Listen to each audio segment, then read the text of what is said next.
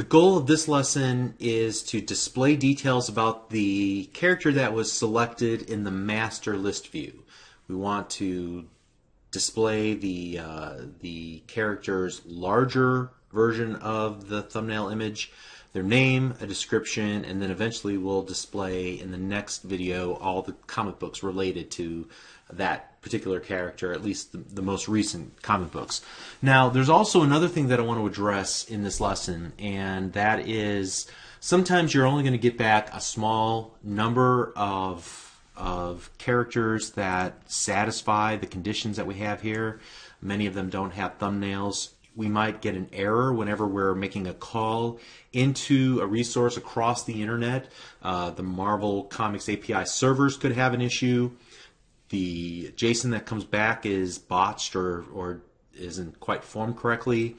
The the JSON that does come back when we try to do that that step that I'm always nervous about uh, whenever we serialize, deserialize that JSON into our object graph, that could go bad.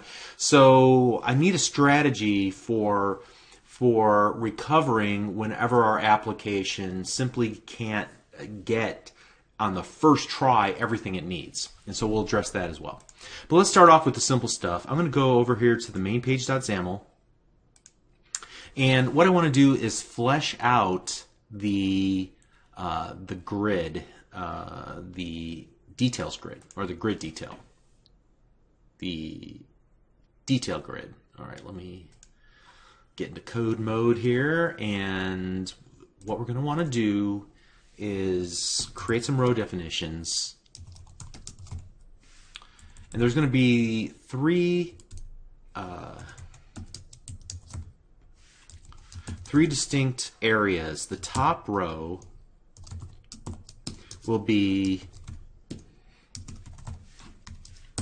where we display the details of the character. That second row will be where we display the list of comics that character has been in recently. And then finally, as you click on one of those comics, we'll display the details about a given comic in the third row. Okay. Uh, the next thing that we're going to want to do is now uh, that we have our row definitions created, we're going to focus on that first row definition. So we're going to create another grid inside of it. So just to make sure we remember what we're doing here, grid.row equals 0. And uh, I'm going to make sure to set the horizontal alignment to left. These should most of these should be defaults, but I'm just not taking any chances here. And then inside of that grid, I'm going to create one row that will display the uh, the name, and a second row that will uh, display the description, and then two columns: a left column that will display the image, and a right column that will display the uh, the name and the description. Okay, so a two by two two grid. So row definitions and we'll just set the height on each of these to star give them equal equal width there and we'll do the same with the column definitions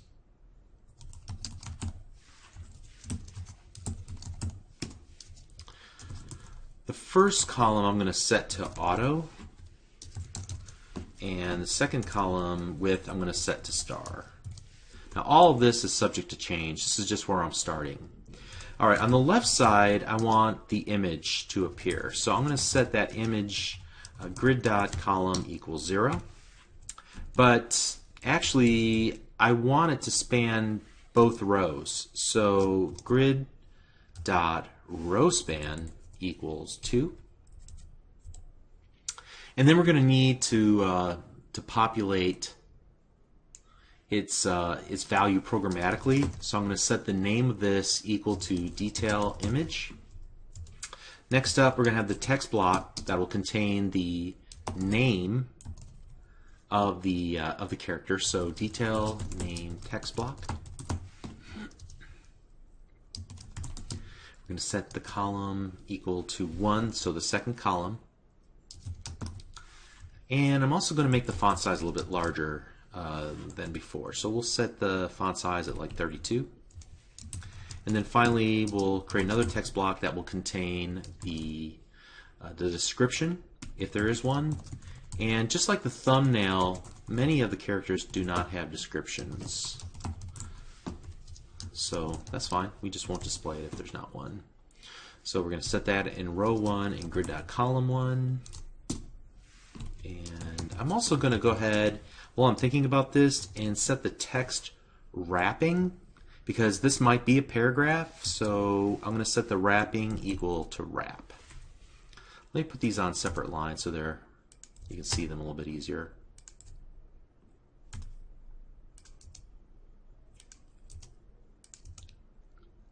Great. All right, the next thing that I want to do is go back to our list view and I want to make it so that you can actually click on one of the items. So is item click enabled equal true and then uh, item click equals new event handler. I'm going to go to that new event handler using F12 on my keyboard.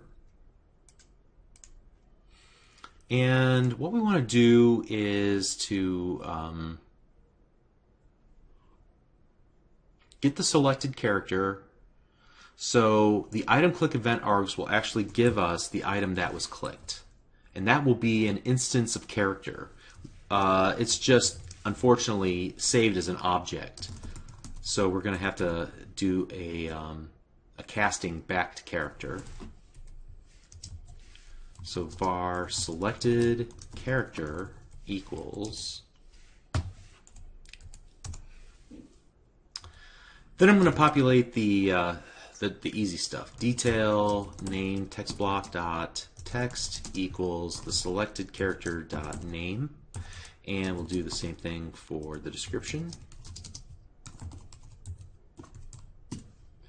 Now, getting the image to display an image will be a little bit trickier. Uh, we're going to have to create a bitmap image, and once we populate the bitmap image's source, then we can set it as the source of our XAML image control. So this is how you do it. You might even want to save this little snippet to your cheat sheet.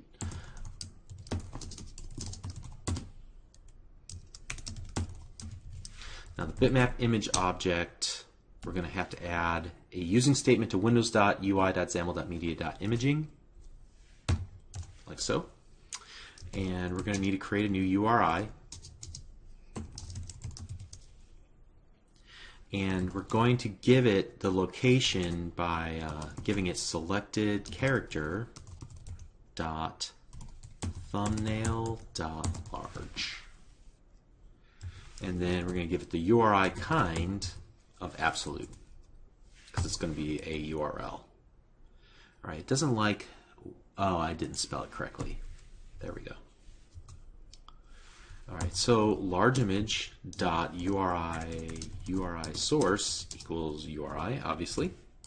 And now it should have everything it needs to be a real bitmap image, and so we can do this detail image dot source equals large image. That should work. Let's go ahead and try it.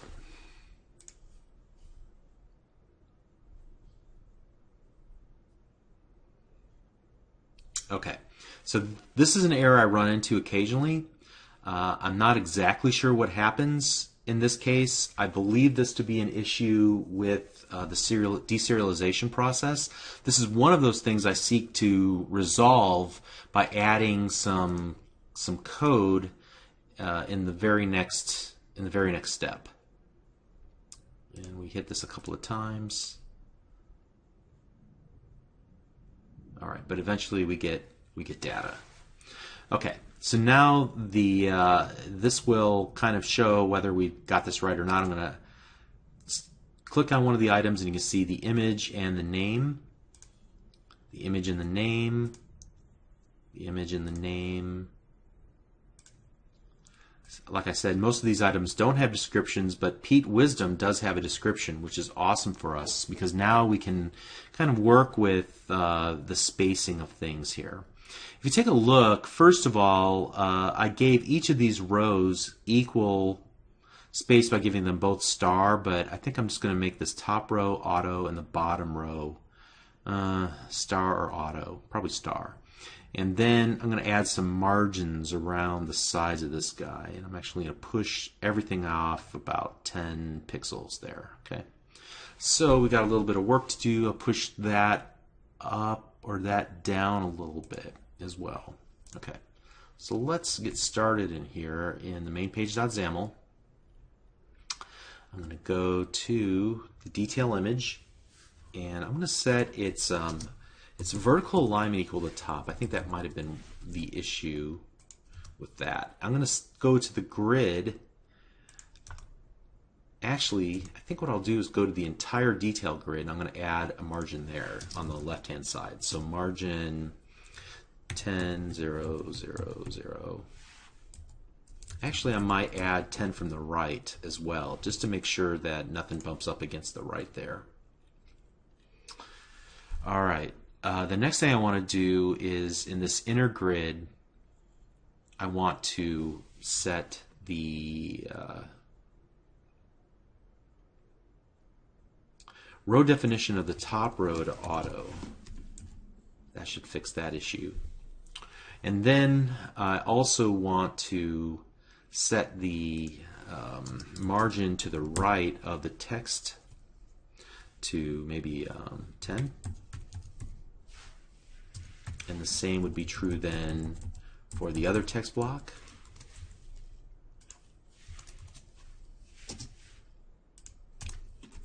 And so now I'm going to run the application again and I'm going to um, keep refreshing until I find a character that has a description.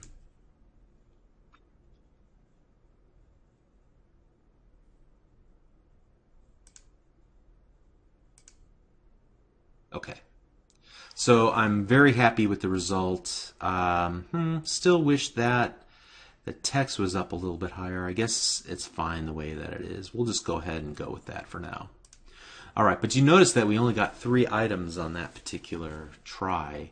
And so that leads me to uh, something I wanted to talk about here, which is uh, making a call into this populate Marvel characters async it just might not return uh, as many items as we want.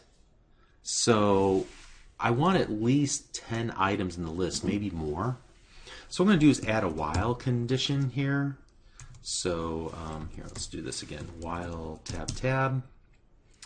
And what we'll check for is the number of items inside of Marvel characters. So Marvel characters dot count. While it's less than 10 items, then we're going to continue to go through this loop. And inside of here, we're going to call await Marvel facade populate Marvel characters async. Now, the challenge here is that an async method might take a while to return. So we could be looping here a billion times while this is still trying to run the very first time. So it could be a lot of calls out to the uh, to that method. That's just the way that this this works. It works as a promise, and then it continues on to the next line of code. But that promise may not come back to us before we actually do an evaluation on the current count of Marvel characters. So uh, to fix this, what I want to do is make sure that populate Marvel characters async returns a task. And then we'll just check the task or we'll just wait for the task before we continue on with another uh, run of our while statement or check on the while statement's condition. So let's go to the Marvel facade and take a look at what we return here. We do indeed return a task. So that's great news. Let's go back to the main page.xaml.cs. And instead of using this await statement, I'm just going to say, hey, give me a task of t. Whoops. Task of t. And I'm going to need to add the task by adding a using statement to system.threading.tasks. And now it should see it. Great. And then we'll just do this await t. So this will force us to wait for uh, the first call to finish before it loops back and does the conditional check, right? So um, let's go ahead and run the application.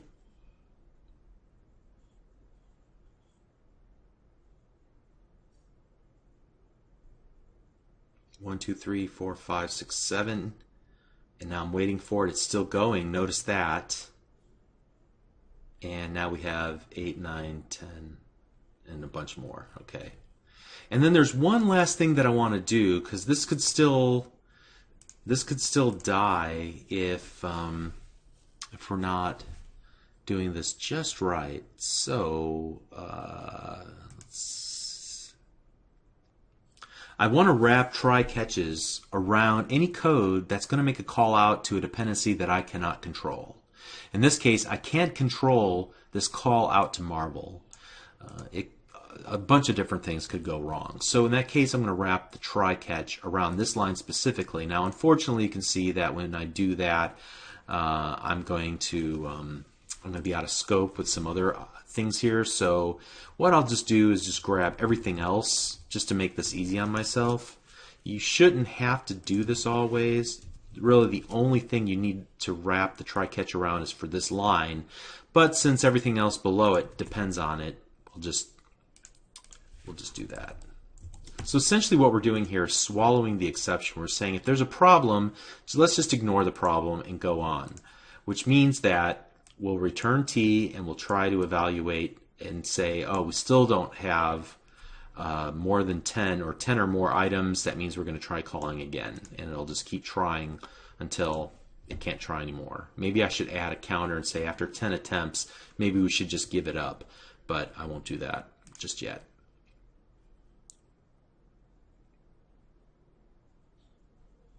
Okay, so let's watch as these things filter in. Okay, so we got one, two, three, four, five, and then we got more. Okay, so we can see that it made two calls because it started off with the B's and then it went on to the F's. Okay, uh, and let's just make sure that everything is still getting returned correctly. I just want to see an item that has a description. Unfortunately, none of these items have descriptions. All right. Well, that's okay. I'm pretty sure it works. So we're going to stop right here, uh, and we're going to move on, and we're going to display a list of comics for every item for every, for the character that was selected. So we'll do that next. We'll see you there. Thanks.